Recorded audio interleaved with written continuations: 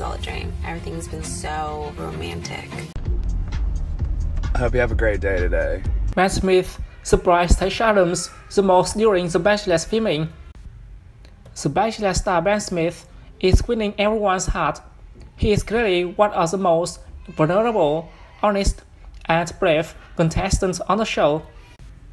Up until last week, viewers had seen Ben as a needy and insecure contestant who wasn't usually winning anytime with Tayshia Adams.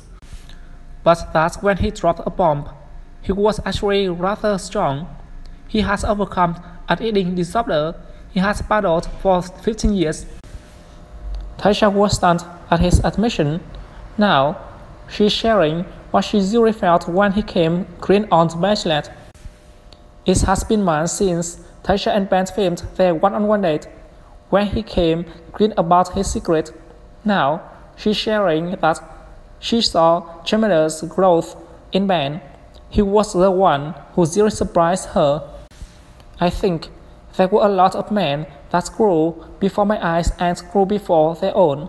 Tayshia told Insider about filming The Bachelor, but Ben was someone that really surprised me. The things he was trying to not bring to surface, they were big conversations, and I think that's why he was holding back so much, she said.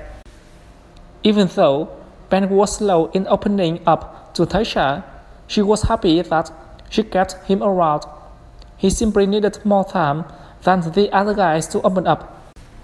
I think once he finally opened up, it was just a completely different person. It was like a weight has been lifted off his shoulders. It is like us a hot minute to get there. I knew there was so much more to him. On The Bachelor, Tayshia revealed that she had liked Ben since day one. Ben shared that he had seriously looked forward to their time alone.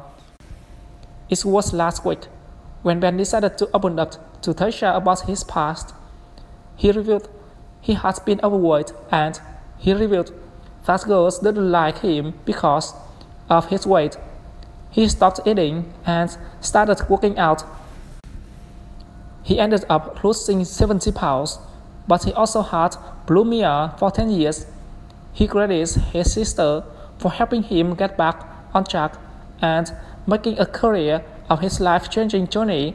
He is now a personal trainer. She saved my life. He told Tayshia on The Bachelor, I'm finally at the place now where I feel safe and comfortable with the people that I live and work with. I care a great deal about this. It's just hard for me to let it out. We know that Ben will make it far on the Bachelor, but he won't end up winning.